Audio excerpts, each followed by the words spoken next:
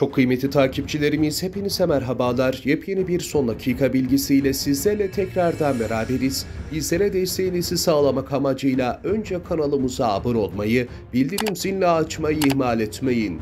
Anavatan Türkiye Suriye sınırına askerlerini yığdı. Kıymetli izleyenler bu durum YPG'nin sözlü temsilcisini resmen tir tir titretti. Mazlum Abdi yaptığı açıklamasında Türkiye sınıra askeri güç yığdı şeklinde bütün dünyaya bir ağlama yaptı. Kıymetli izleyenler sözde komutan Mazlum Abdi, ana vatan Türkiye'nin sınıra güç yığdığını açıklayarak önce ABD'den akabinde Rusya devletinden Türkiye'ye karşı yardım istedi. Abdi ABD'yi Türkiye'nin kara harekatını önlemek amacıyla daha güçlü bir tutum almaya da çağırdı. Mazlum Abdi bugün itibariyle yaptığı açıklamasında Türkiye'nin Suriye sınırına askeri güç yığdığını da ifade etti. Söz konusu güç takviyesi Türk resmi makamlarının DSG'nin denetiminde olan bölgeye her an yeni bir operasyonla başlayabileceğini söylediği bir zamana denk geldi.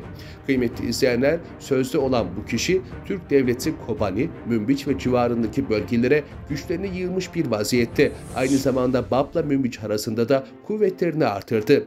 Yine Azez Tedrifat'ta güç biriktirmiş durumda. Bizler Türkiye'nin buradaki askeri güç yığmasını ciddiye alıyor, ona göre tedbirlerimizi alıyoruz şeklinde bir ifadeyi kullandı. Ayrıca bu kişi ABD ve Rusya devletinin Türkiye'nin kara harekatına karşı olduğu için bunu yenilemesi gerektiğini vurgulayarak saldırıyı önlemek amacıyla daha güçlü bir duruşa sahip olmaları gerekiyor şeklinde bir konuşmayı da yaptı.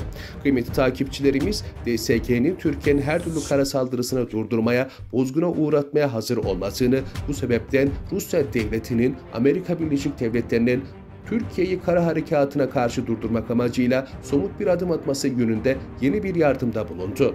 Kıymetli izleyenler bir videomuzun daha sonuna geldik.